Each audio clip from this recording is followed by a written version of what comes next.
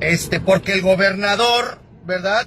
Pues todavía no encuentra otra solución más la lluvia, porque a veces somos malagradecidos y culeros, ¿cuántas veces no despreciamos? Ay, me choca que llueva.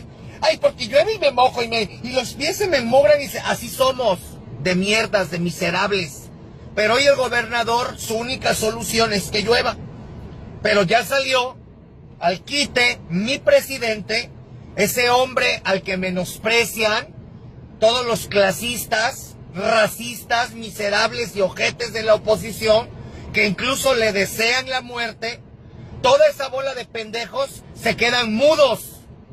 Con lo que el presidente Andrés Manuel López Obrador hoy firmó el decreto para las presas, el cuchillo 2 y la presa Libertad, que le va a garantizar durante 8 o 10 años a Nuevo León agua. No como lo que anda diciendo la propaganda de Samuel García, que con sus acciones y sus planes le van a garantizar agua 50 años a Nuevo León, por Dios. Esta gente sigue creyendo que somos pendejos, que somos idiotas. Siguen creyendo lo que creyeron los gachupines ratas españoles, que hoy estos empresarios culeros que se han venido a servir, ¿sí?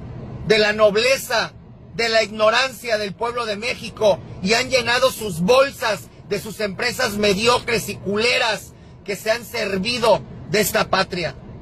Así piensan los prianistas que seguimos siendo esos indios, esa gente bendita de nuestra raza y cultura a la que engañaron y le vendieron espejos por oro.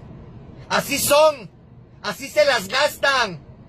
Y es la misma escuela que lleva Lili Telles y toda la bola de panistas culeros, ardidos, envidiosos, porque no tienen cómo poder salir y decir y defender al que tanto defienden, al idiota de Fox, al estúpido de Calderón o al pendejo de Peña Nieto. Porque nada de ellos tres, ni los tres juntos, podría darles orgullo o motivo para salir a hablar algo bien de los tres porque junto con Cedillos y Salinas, agarrados de la mano, chinguen a su madre juntos por todo lo que le hicieron a la patria.